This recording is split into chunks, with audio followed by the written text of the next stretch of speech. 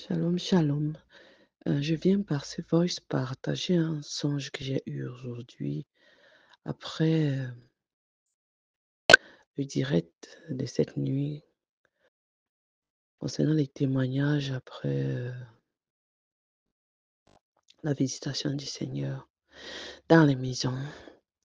Et nous sommes comme ça le le 7 c'était vendredi, nous sommes le 7 lors de l'enseignement septembre 2024. Donc je fais donc ce songe, heu, ce matin où je vois les je me suis retrouvée subitement parmi, heu, les les gens qui ont commencé la marche chrétienne, la marche, des disciples, avec le frère Junior, il y a cela longtemps. Après sa conversion, quand il commençait à prêcher, il était assez radical. Il y a les gens avec qui il faisait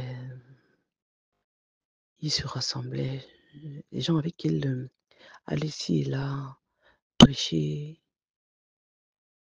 Hem, je pense même pas que prêcher, mais je vais dire les gens qui l'accompagnaient dans avec qui il faisait l'œuvre au début, même avant qu'il fasse la connaissance de la sœur. Donc je me suis trouvée parmi eux. Il y avait les gens qui ont cheminé avec lui, mmh et beaucoup, beaucoup même je pense qu'après ne sont plus avec lui maintenant. D'autres sont en commun, d'autres plusieurs ne le sont plus. Elles l'ont laissé, ils sont partis et j'ai vu, comment le frère était avec eux et puis à chaque fois il se retirait, il priait dans son cœur que Seigneur fais-les comprendre. Seigneur fais-les comprendre ce que tu as ce que tu as prévu pour l'église. Seigneur fais-les comprendre ce que tu as fait pour l'église. Fais-les comprendre Père ce que tu as prévu pour l'église et beaucoup étaient là seulement par suivisme et par oui, heu, il faut qu'on se fasse un nom derrière le frère et tout ça. Après ils sont partis, puis ils sont partis, ils se sont séparés. Alors quand le frère a continué, heu, sa marche en solo avec il a rencontré son épouse et puis tout ça je vois ça dans le songe, hein. Alors je vois aussi, il y a une, sorte de rencontre une sorte de rencontre où il y a, heu, le frère qui était là avec ceux avec qui il est dans le ministère actuellement. Ceux qui sont proches de lui, beaucoup se faisaient des positions, se représentaient, heu, comme, heu, oui je suis très plus proche du frère Junior, je suis je suis sa main droite soi-disant, je suis je suis oui j'ai j'ai certaines responsabilités plus que d'autres, je suis donc il y avait une forme de de de de représentation des des des différents personnages qui étaient autour de lui dans ce songe-là et puis moi j'étais parmi eux, j'ai dit que ma part dedans ici c'est quoi? Je suis dans quelle sauce ici? Je suis dans quelle sauce ici? Il ne sait même pas si je marche à côté du frère, si je rencontre dans la rue, si je marche pas, je passe à côté de lui, s'il va même me s'il va même me connaître. Alors, j'étais parmi eux et moi ce que je devais faire, c'est que je devais f constat faire ce constat-là. Faire ce constat parce que le frère lui l'avait déjà fait depuis et moi j'étais là, je devais aussi faire ce constat-là pour donc attirer l'attention de tous ses frères et sœurs qui sont autour de lui. Pour les faire savoir que: «Hey tiens, qu'est-ce que vous faites? Qu'est-ce qui se passe là?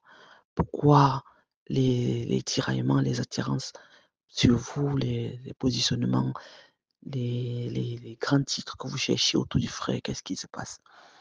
donc mon rôle là-dedans c'était, hem il y avait certaines personnes qui, heu, étaient très âgées, qui étaient en fait un peu, plus âgées peut-être que le frère et tout et qui ne paraissaient pas tels. Ils étaient dans l'œuvre avec lui. Les gens qui étaient partis là, qui sont revenus et et plusieurs qui étaient actu qui sont actuellement avec lui, il ne voulait pas les accepter dans le groupe et heu, à chaque fois le frère, heu, me faisait comprendre que, heu, ceux-là qui sont revenus, ce n'est pas lui qu'ils viennent chercher en fait, c'est l'esprit de Dieu qui les a ramenés là.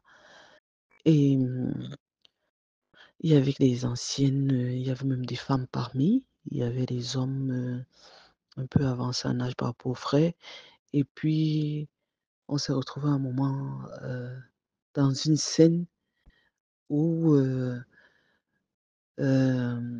il y a un frère actuellement qui est auprès du frère qui, heu, comme son fils je sais pas trop qui était assis et puis se prenait des airs, il donnait même des ordres et puis,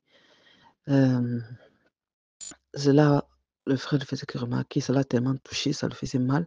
Il se retirait pour prier, le frère junior, il se retirait pour prier et pendant qu'on se les gens se sont retrouvés, ces anciennes, collaborateurs, anciennes personnes avec qui le frère était au début de sa conversion ou bien au début de sa marche, ils étaient là et chacun essayait de relater et quelle est la cause de son départ, pourquoi est-ce qu'il était parti et pourquoi il est maintenant revenu.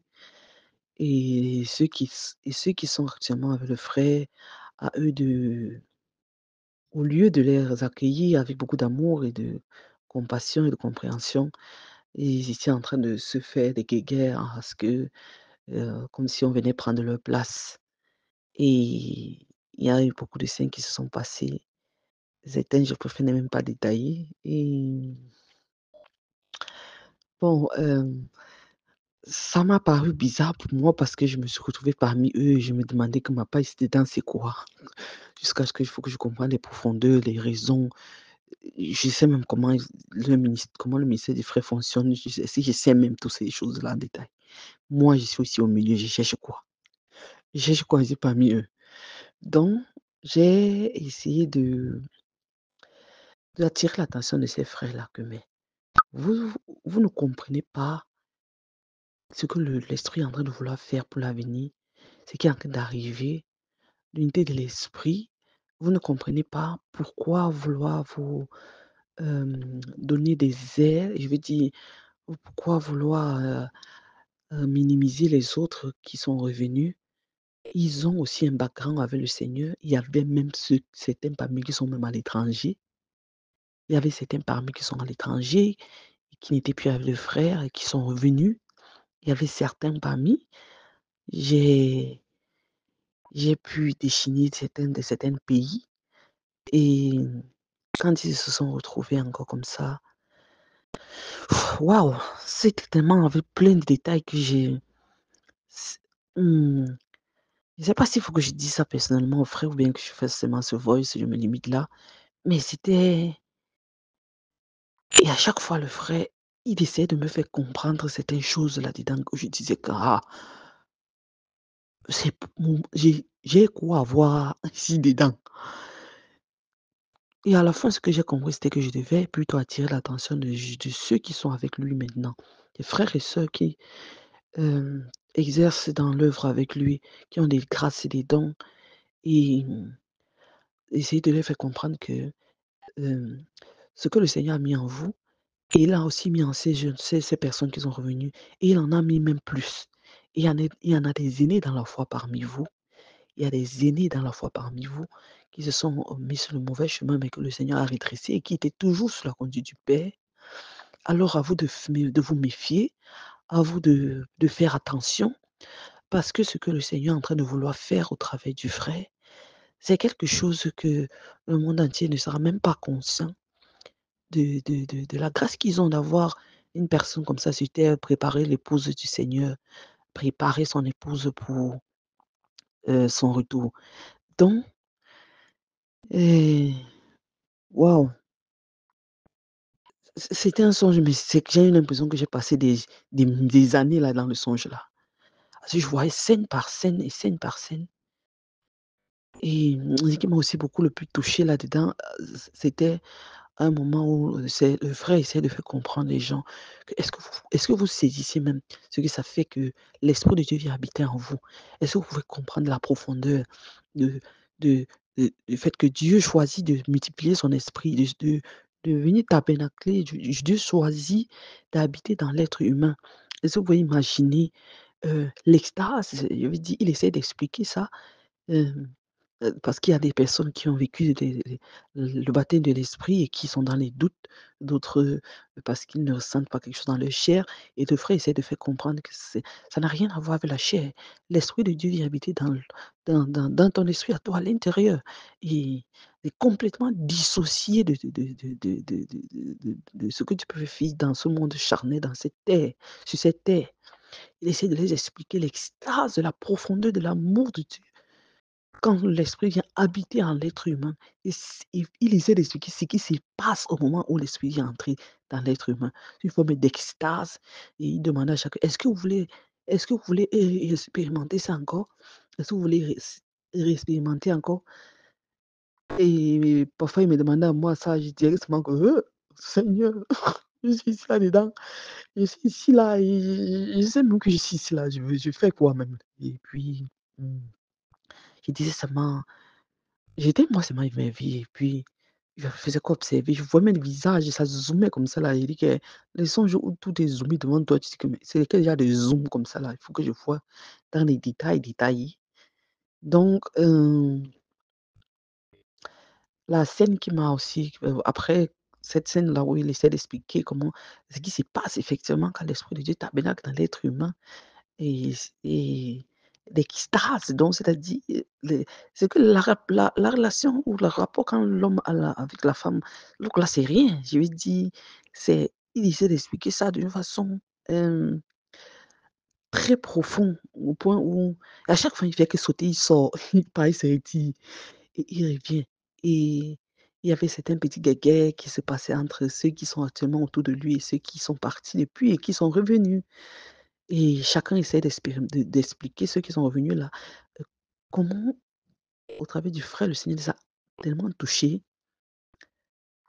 Et pourquoi ils sont partis, pourquoi ils sont revenus? Pour certains, c'était à cause de l'orgueil, pour certains, c'était à cause de de la jalousie, pour certains, c'était à cause du fait qu'ils ne comprenaient pas. Et certains oui et à un moment, il